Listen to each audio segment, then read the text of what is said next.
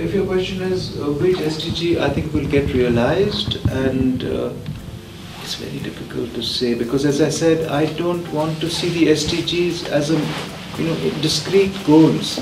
They're actually all interconnected. But I think if we uh, look at two of them, education and gender equality and empowerment, if we can achieve these two, uh, we have much greater hope and promise for the future.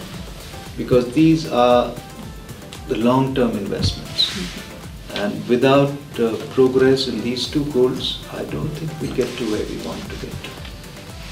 But policymakers, the first thing they cut on when their budgets are tight are just these two issues. I've seen it in country after country, especially in the poor countries.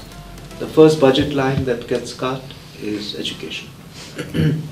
but these are the investments of the future, and I'm just, the world realizes the importance of uh, our politics has become very short term. You know, people only view things from one election to the other.